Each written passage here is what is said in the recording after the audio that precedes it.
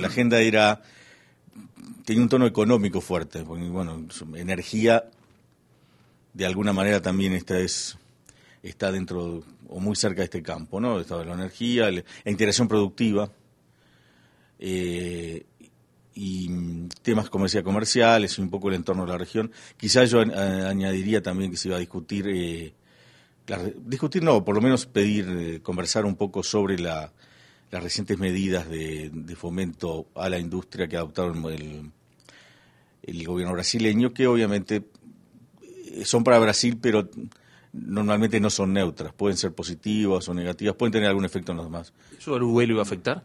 Bueno, recién salieron hace 48 horas, estamos un poco estudiando, supongo en Montevideo también.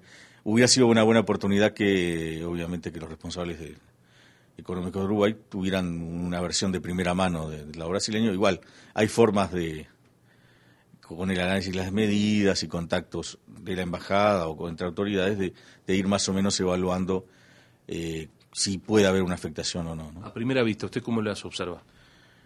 Y hay que ver algunos casos, porque son temas de impositivos, habrá que estudiarlo bastante eh, con, con mucho detalle, porque hay, hay temas de cambios impositivos, hay incluso pérdida fiscal que Brasil asume eh, rebajando algunos impuestos o eliminando algunos impuestos sustituyéndolo por otros, hay algún tipo de impuestos a la de impuesto interno, pero que recaen sobre bienes importados, que, varió el sistema. Entonces, creo que hay que ser bastante cuidadoso, es decir, eh, es malo o bueno, ¿no?